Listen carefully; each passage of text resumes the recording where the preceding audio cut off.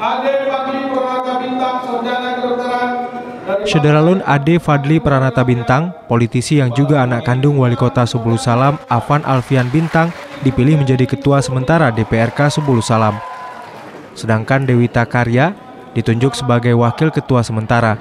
Keduanya diumumkan usai pengambilan sumpah 20 anggota DPRK Subulu Salam masa bakti 2019-2024 Senin 19 Agustus.